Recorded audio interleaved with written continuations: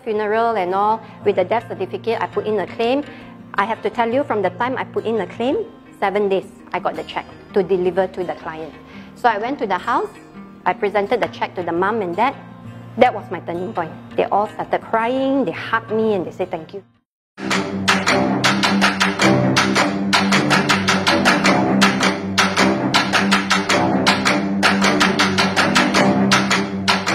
The corporate world, when we all work, we all work so hard. At the end of the day, is what we are just employee only. We don't get anything from the company. We're not even shareholders of the company.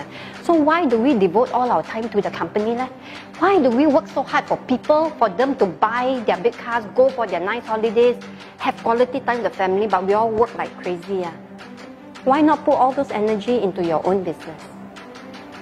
So what I'm saying here, if you take the action, right, you have a gamble, a chance at changing, you know changing your current situation. Uh, but how far you want to take that success depends on you. But there is a business model can help all of you to do that. Thank you very much.